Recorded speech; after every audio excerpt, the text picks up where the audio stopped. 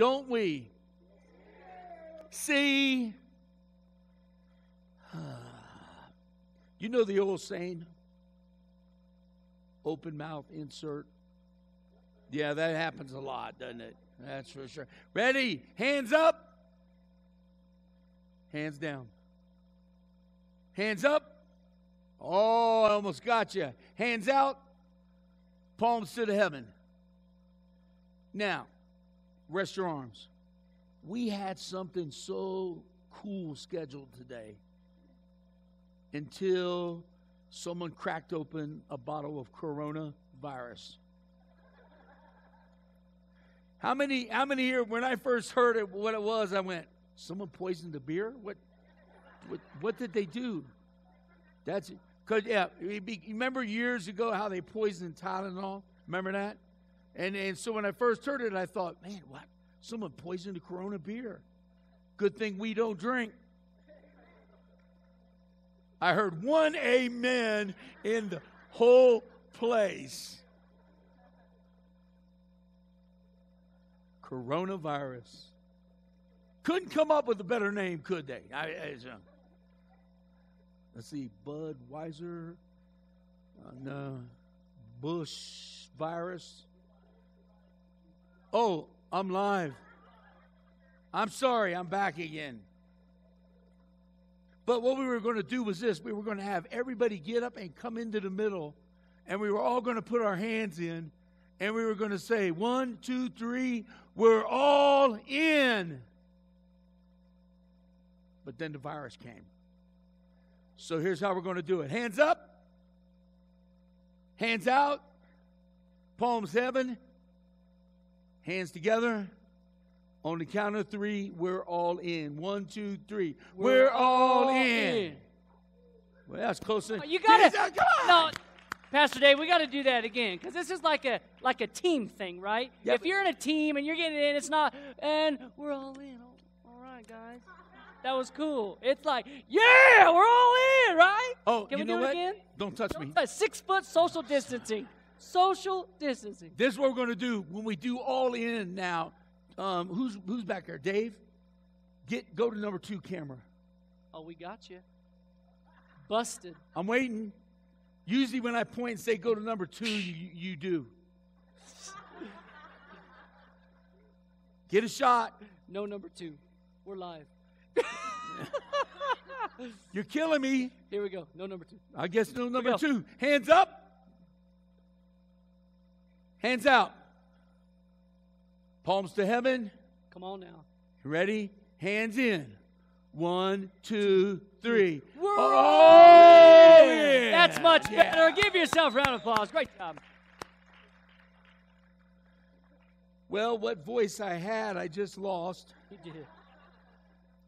Um, so I'm going to be a more kinder, gentler pastor today from the pulpit.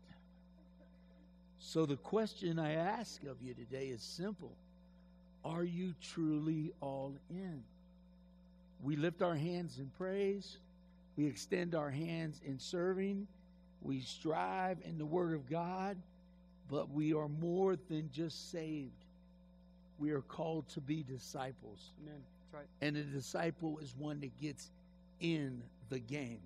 And that's what we're going to be talking about striving. Listen to 2 John 1 8. Watch out that you do not lose what you worked so hard for, but that you may be rewarded fully from your Father in heaven. Hold on to that which you have learned. Hold on to that which you have sought out. Hold on to that which you were blessed when you served. And hold on to God's word as we go forward into the future. Now, I had someone tell me on, go back, uh, no, go to the very first slide, welcome slide thing. Um, I wanted to explain this. Okay, see it, it's seek, serve, and strive. Notice the little I. Because it doesn't matter what we do when we seek, it doesn't matter what we do when we serve, for He is always greater than I. Amen. Amen. And so I did that on. Someone said, "Why did you did you not have a capital I on your computer?" I had one. I didn't use it, but I want you to understand: seek, serve, strive. We have to be a part of what God is doing. We have to be the action behind the power. He empowers us, and then we go and we do. We're like a team, just like Eli said. Think about it. We recruit people, we assemble, we train them, they learn, they grow, they develop. And think of all the people we have sent out of this church to pastor other churches all over the Southwest region. So, what we've done is the thing, same thing that teams do. We identify, then we develop, and then we deploy them out into the world. We are a team here at Crossroads Church. Yeah. Thank you. I got another. We're, we're slow today, but that's okay. I'm talking slow as well. I want you to notice something that isn't in here, though. Okay? There's no bench warmer. Come on. You won't have to worry about riding the bench, not with the kingdom of God, unless you so choose. Right. There's no standing on the sidelines, Mm-mm. nor seated, seated in the stands watching. When you are called to be a disciple, you are called to be in the game. You are called to strive. For you're called to, to strive forward into the future with all that you have, with all that is within you. That is what we are supposed to do. I tell you what, I love sports. I love all kinds of sports except bowling. But I like sports. I'm just kidding. I want to see how many bowlers. But I'll guarantee you this you can't roll a strike unless you get up over the ball. Right? And I love track. I love to watch runners. I love to see their stride. I love to see their rhythm. But I guarantee you'll never get a ribbon. You'll never get a first place if you don't get in the starting blocks. It won't happen. You can't hit a home run if you're not at the plate. You can't score a touchdown if you're not on the field for the quarterback to throw you the ball. If you're not on the field, you can't even run a ball. Every sport, every team requires action by each and every participant. Amen. We are the same way. If you don't have a Bible, lift your hands up. Our Bible thumpers be happy to bring you a Bible. And we're going to take a look at a couple verses. Eli's sitting there because I told him my voice is running out rapidly. So he's going to have to read some of the big passages. Plus, there's words in here I can't pronounce. No, Perfect. he's just going to read. But we're going to start in Luke chapter 13. So turn to Luke chapter 13. And as you turn there, I want you to join me in verse 24. And I want you to notice these words starting in 24 13. Make every effort to enter through the narrow door, because many, I tell you, will try to enter and will not be able to. Once the owner of the house gets up and closes the door, you will stand outside knocking and pleading. Let me in. Let me in. But all this time, the door was open. Sir, open the door for, for us.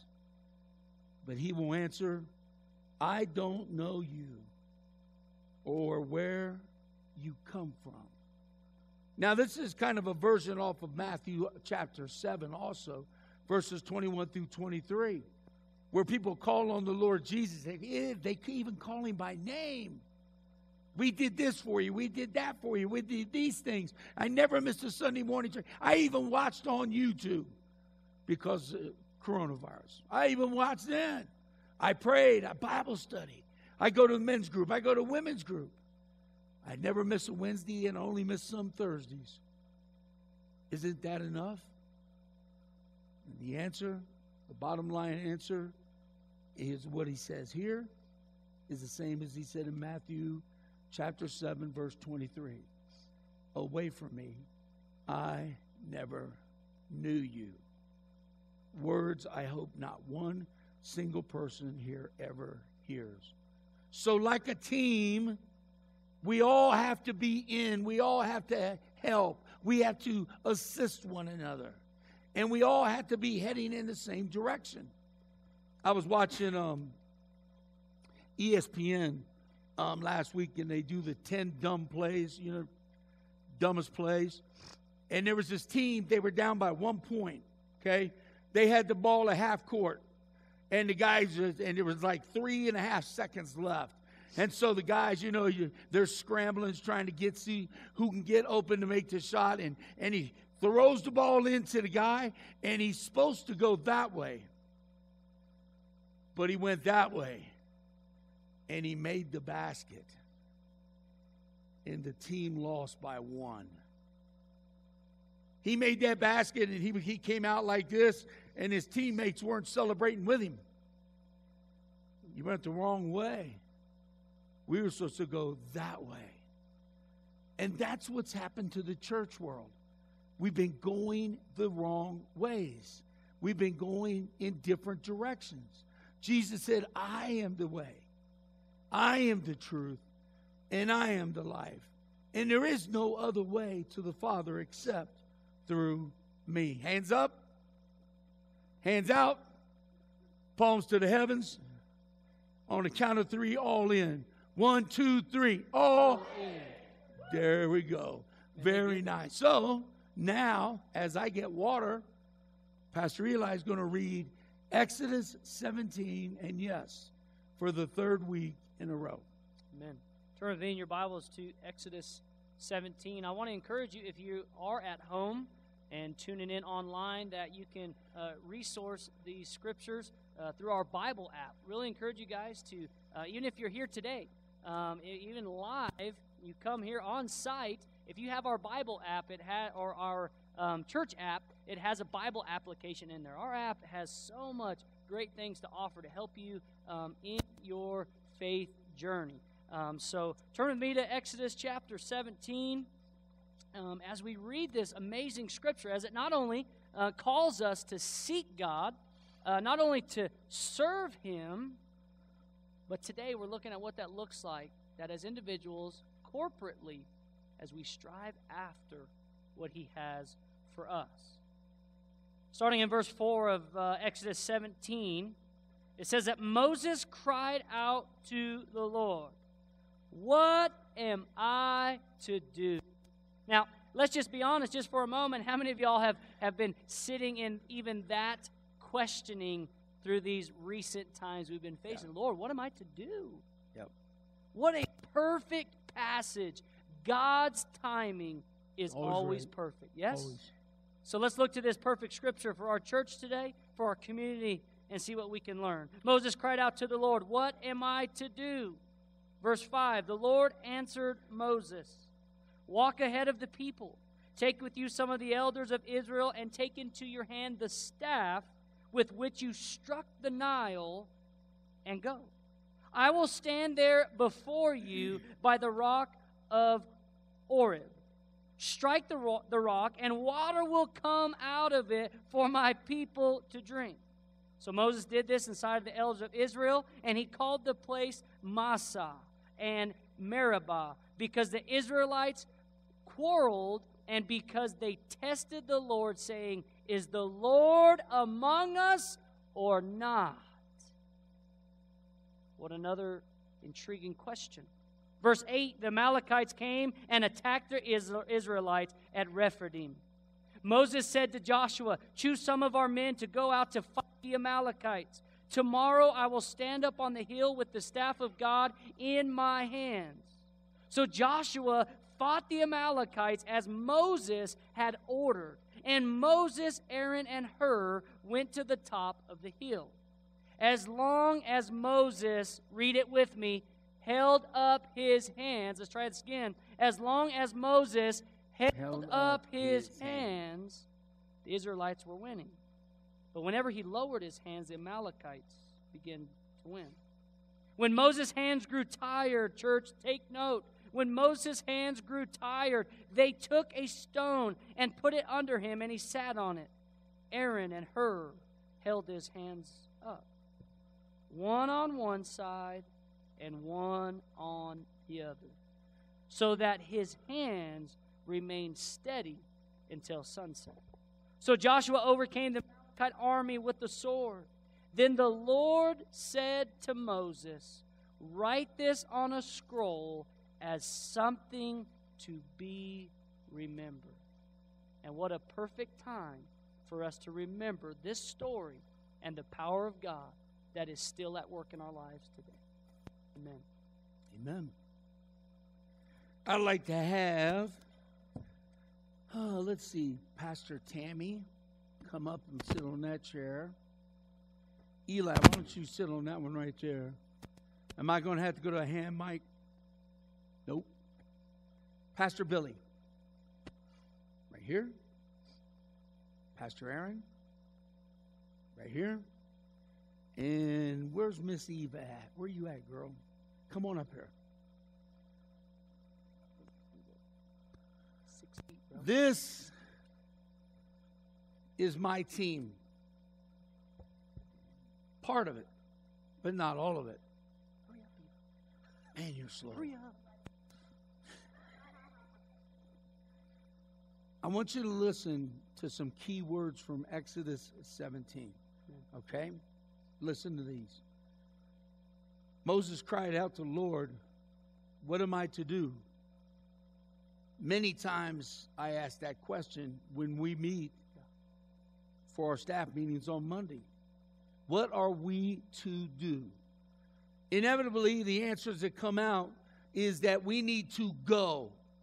Look right there in the verse, verse 15. The Lord answered Moses, Go, go out to the people. They're not coming in, they're not coming to see you. So you need to go see them. You need to strive to move forward. You need to take us one step at a time. And it says right there take with you, take with you, take with you, take with you, and take with you, take with you others as we go. Amen.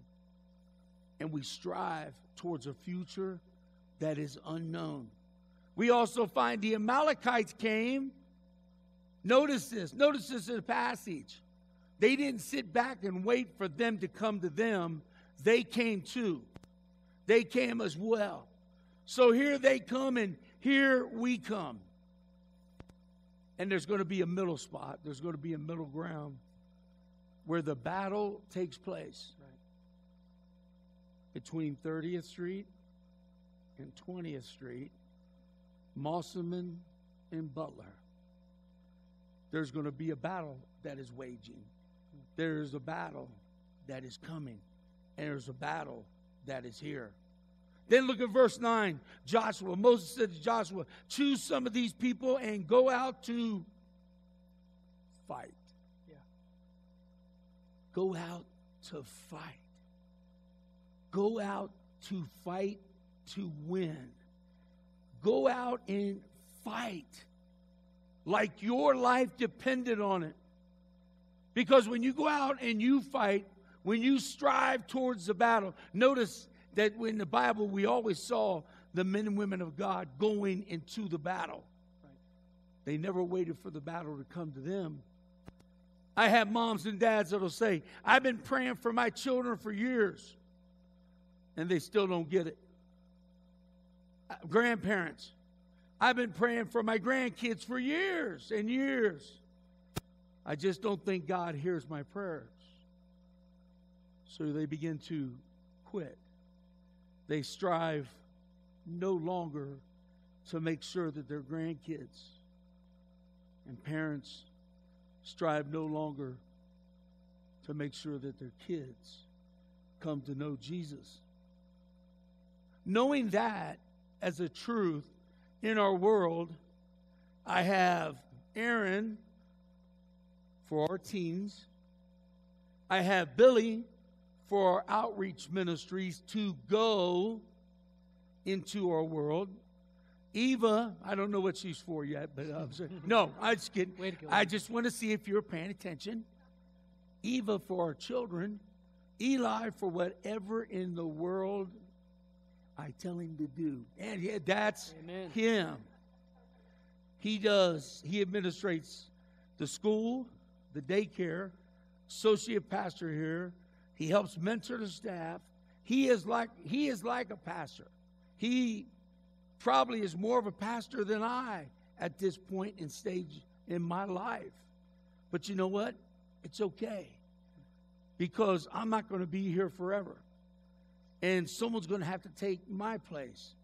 And so Eli has to strive towards the goal. And these individuals had to strive with him. And you, as individuals in this church, have to strive along with all of them. And Tammy, she's another one. She's our compassionate. She's the only one on the stage that has compassion, Amen. Way to go. Air bomb. benevolence. Mm-hmm. Mm. Hey, she cares about everything. Yeah. Amen. Amen. The janitor stepped on an ant. It's okay. It's Tammy okay. prayed. I'm just kidding. But she has a very definite call. She takes so much off me. Amen. If if all I did was go visit, visit, visit, visit, visit, which is not a call of a pastor. If all I did was go to a hospital or a shut in, which is not the call of a pastor, I would have no time to teach, Right. no time to prepare, Right. no time to preach. I would have no time. These individuals have to follow along and strive with me. And if one of them gets out of rhythm, if one of them doesn't do what they're supposed to do, and we're not striving together, then we're not one. Right. Come on. And what did Jesus pray? That they would be one as me and the Father are one. Yeah. I pray that every day, but I pray that not only for them, but for you. That you would become one. That you wouldn't run from the fight, but you would face the fights of your life. Fight or flight? Which one do you choose? It also says that Aaron and Moses and Hur went to the top of the hill. And every time Moses raised his hands, what happened? They won. And every time he got tired, they would lose. They would get beat up, beat down. My staff holds my hands up when they need held up. Our church board holds our hands up when they need held up. Amen. We choose to hold your hands up in times of troubles and struggles. We strive to know, know enough about God's word to do the things that we are called to do. There are people in your life that need you.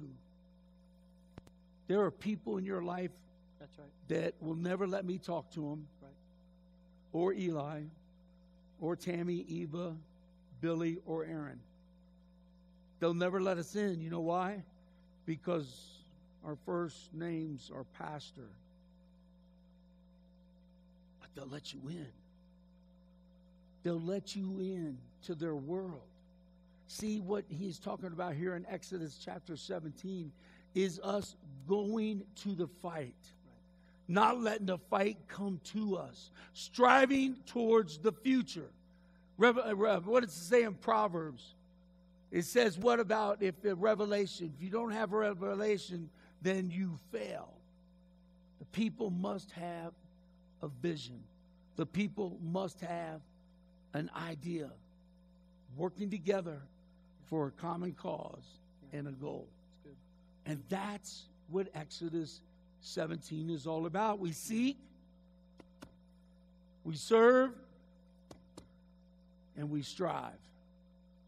We seek, we serve, and we're inviting you to join us as we strive forward into the future. As the band comes back to the stage, as you guys remain seated,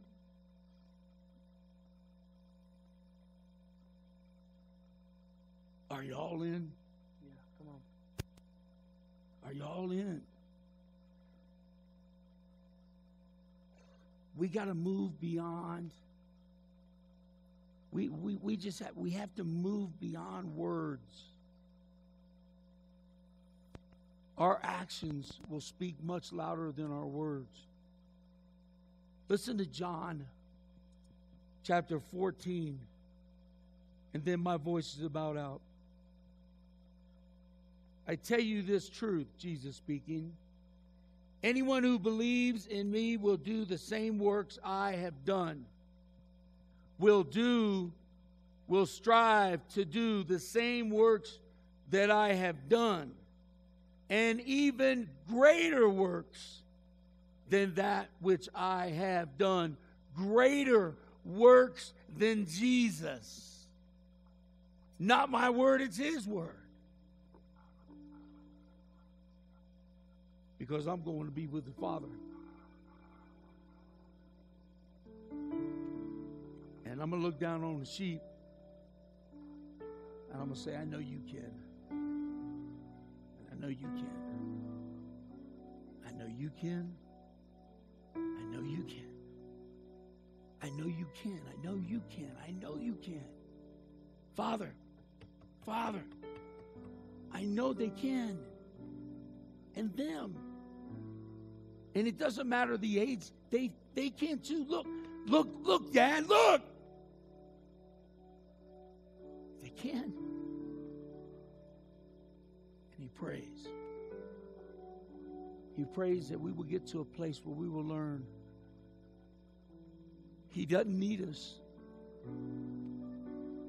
but He wants us. With your heads bowed and your eyes closed. I want you to take a moment this morning and I want you to think about your role in the kingdom.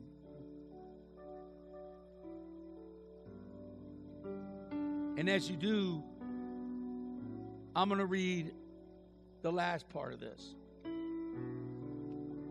You can ask for anything in my name, and I, the Lord your God, will do it so that the Son can bring glory to me, the Father. Yes. Yes, I say. Ask me for anything in my name, and I will do it. That's Jesus' very, words. As Aaron continues to play, what would you ask him for today? courage to go, strength to stand, an attitude that the future is going to be much better than the past.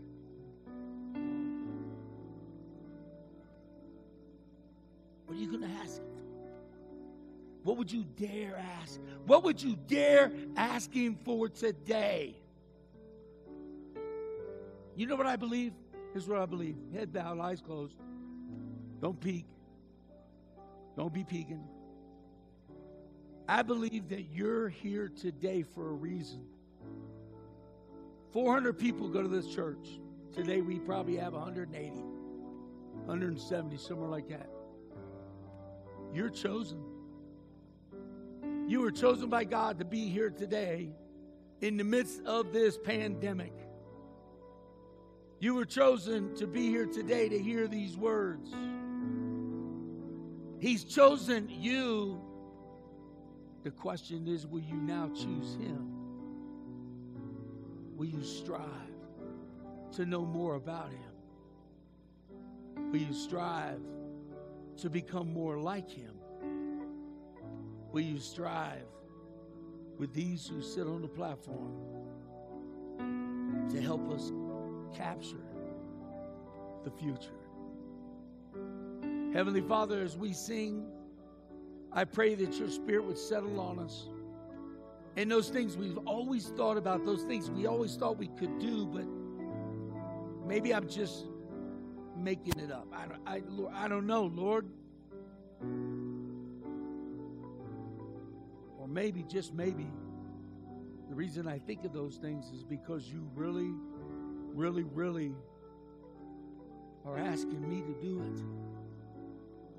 To hold up the staff's hands, to hold up the pastor's hands, to hold up the church board hands, to hold up the hands of those who don't know Jesus.